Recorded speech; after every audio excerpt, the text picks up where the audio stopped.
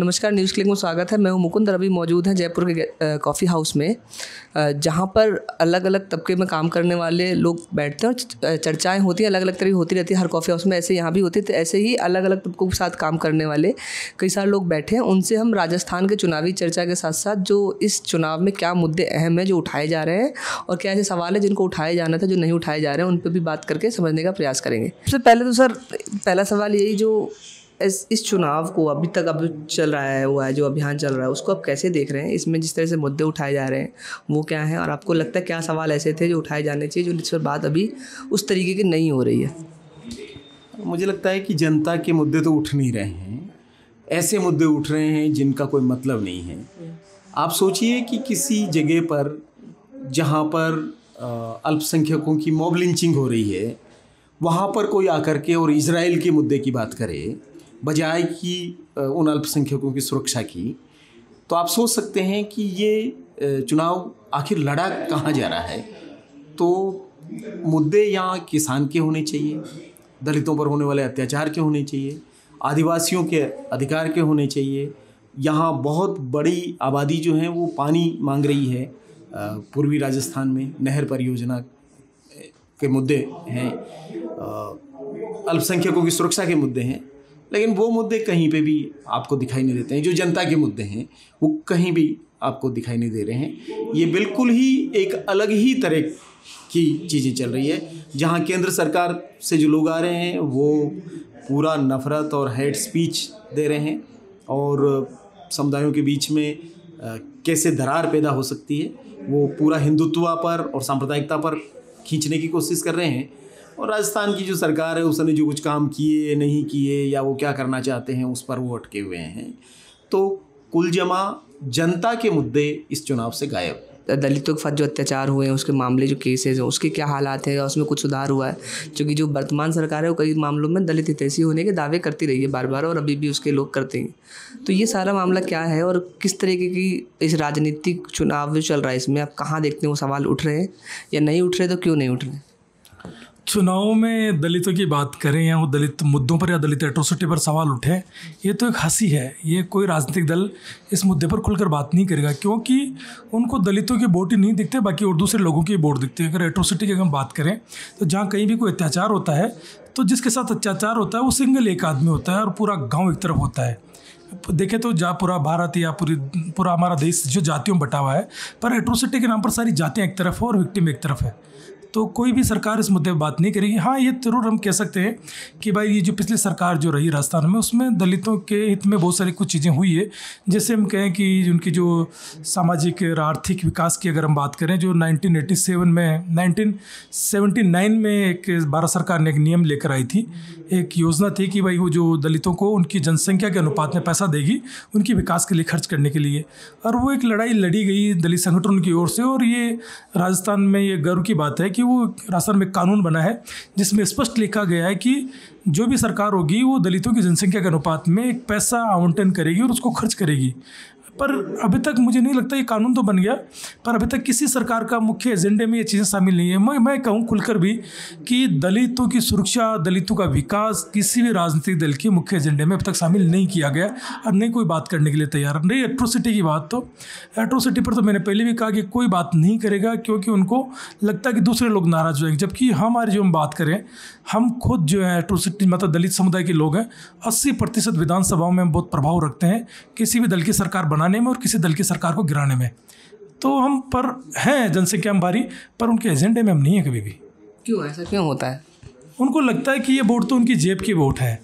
जैसे कहूँ कि कांग्रेस के परंपरागत वोट रहे हैं और बीजेपी ने एक सुबुका छोड़ा है कि राजस्थान में कि नहीं सहेगा दलितों पर अत्याचार नहीं सहेगा राजस्थान। अरे भाई अत्याचार करने वाले कौन लोग हैं? आपने तो अत्याचार करने वालों को पनाह दिया है। बीजेपी ने अभी क्या किया? जिस आदमी ने गिरिराज मलिंगा ने अनुसूचित जाति के एक अधिकारी के साथ मारपीट करी और पूरे समुदाय ने एक महीने तक पूरे राजस्थान में घूम घूम कर ये कहा कि कोई भी राजनीतिक दलित, दल, दलितों पर अत्याचार करने वाले व्यक्ति को अपना उम्मीदवार बनाएगा तो उसका हम विरोध करेंगे। कांग्रेस ने थोड़ा प्रेशर, दलितों के प्रेशर को माना, उन्होंने गिरिराज मलिंगा को अपना टिकट नहीं दिया।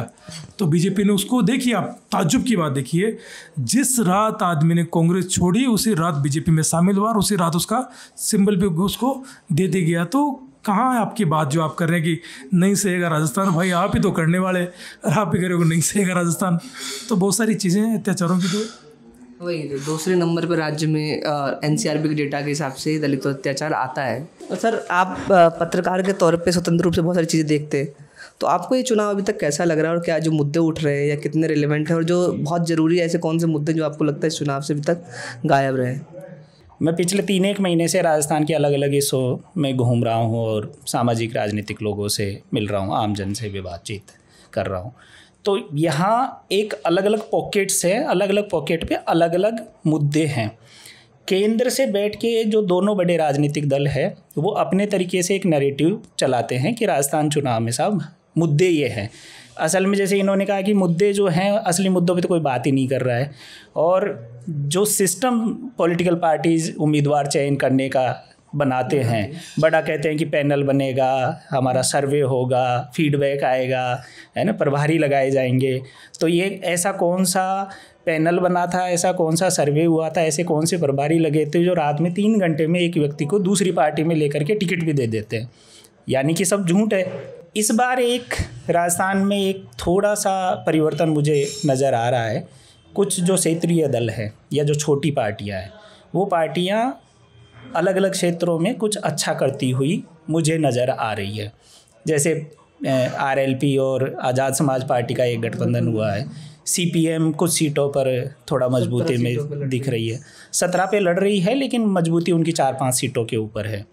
फिर दक्षिणी राजस्थान में एक बड़ा बड़ा परिवर्तन है जो अभी दो विधायक हैं उनके लेकिन इस बार वो सीरियस कैंडिडेट्स हैं उनके बारह सीटों पर। बाप पार्टी। बाप पार्टी भारत आदिवासी पार्टी। वो एक बड़ा पक्ष है। ऐसे करके ये चार पाँच दल ऐसे हैं जो इस बार खेल में थोड़ा सा ट्विस्ट लाने वाले हैं। बाकी नेक टू नेक फाइट है बीजेपी कांग्रेस की। और वही है जो काशीराम जी ने कहा था सापनाथ नागनाथ वाला किस्सा।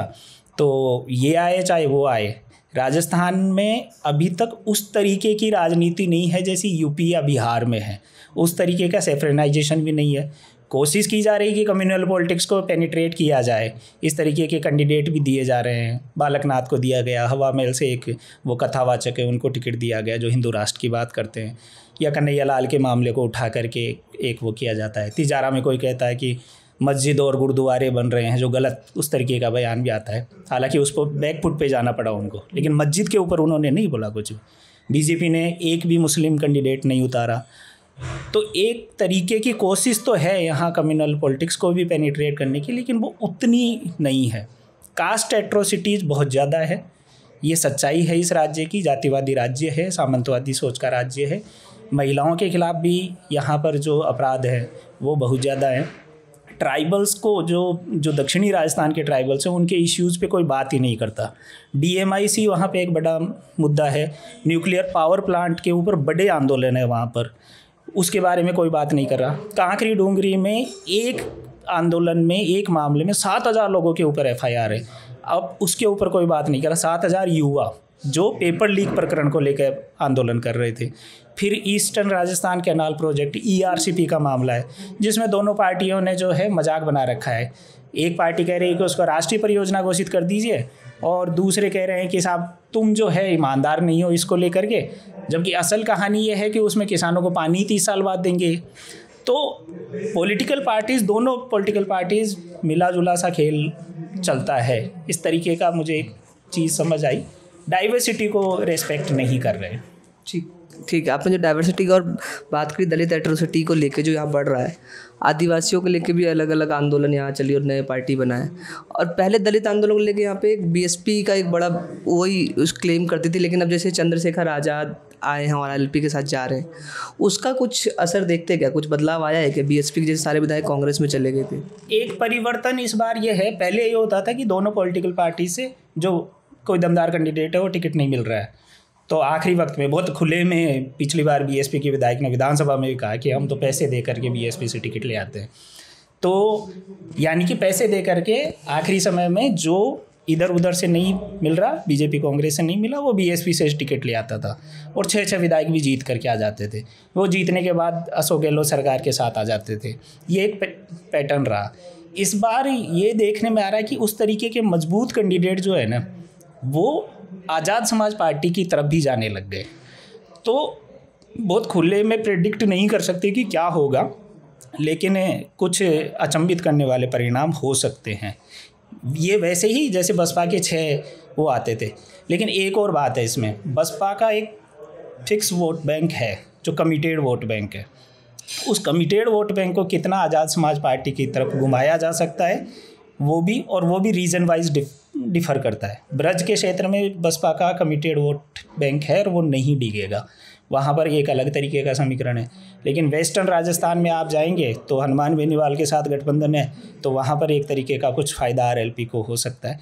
ईस्टर्न राजस्थान में कुछ अलग है यहाँ जयपुर रीजन में अलग है। मगर जब ये बात हो रही थी दलित अत्याचार को लेकर और बाकी राजनीति को लेके, इस पूरे चुनाव को अगर देखें केंद्रित करके भी और वैसे भी, इस पूरे सामाजिक संरचना में राजस्थान के अंदर। दलितों की स्थिति क्या है, उसको आप कैसे देखते हैं? क्योंकि जो पाँच साल की सरकार अदलती बदलती रहती है, उस दौरान क्या कुछ बाकी लोगों का बदलाव हुआ है या कुछ अलग देखते हैं क्या दोनों में? दोनों पार्टियाँ, मुख्य पार्टियाँ जो हैं। देखिए, दलितों के भीतर अपनी चेतना काफ़ी आई है और वो राजनीतिक दलों की वजह से नहीं है। वो, उनकी जो नई जनरेशन आ रही है वो जनरेशन अब सवाल पूछ रही है पॉलिटिकल पार्टियों से भी कि हम आपकी पार्टी में कहाँ हैं? क्या हम केवल आपका झंडा उठाने के लिए, जाजम बिछाने के लिए, आपका नारा लगाने के लिए हैं? या हम आपके एक तरीके से बंधुआ मजदूर की तरह हैं कि हम आपको वोट देते रहें और आप राज करते रहें? तो दरअसल नारा मानवर कांसीराम ने बहुत पहले लगाया कि वोट हमारा, तुम्हारा, वोट हमारा, राज तुम्हारा नहीं चलेगा। मुझे लगता है कि राजस्थान के दलितों को अब थोड़ा थोड़ा समझ में आ रहा है। तो ये जो नए किस्म के बनते हुए समीकरण हैं, ये समीकरण कम से कम इस चुनाव में ये स्थापित करेंगे कि ये जो दलितों का वोट है, अठारह प्रतिशत जो आबादी है, ये सरकारें बनाने, बिगाड़ने में सक्षम है और ये अब केवल वोट नहीं देंगी, बल्कि ये अपना भागीदारी भी मांगेंगी और कुछ चीज़ें बदलाव के लिए भी काम करेंगी। जैसे इन्होंने बोला जो भावुकता के आधार पर दलितों से या बाकी लोगों से बात की जाए चुनाव में बात होती है वो हर पार्टी अपने अपने वोटरों के साथ अलग अलग समय पर करती है। इस चुनाव में जो बेसिक मुद्दे शिक्षा स्वास्थ्य या बाकी सवाल हैं या समाज की जो आर्थिक सामाजिक संरचना है वो किस तरीके से देख रहे हैं वो सामने आ रही है या उस पर बात हो रही है क्या? नहीं ये जो पूरा खेल है भावुकता पर ही चल रहा है। बीजेपी तो कह रही है दलितों पर अत्याचार हो रहे हैं वोट दो। कांग्रेस कह रही है कि हम आपके लिए कुछ कर देंगे वोट दो।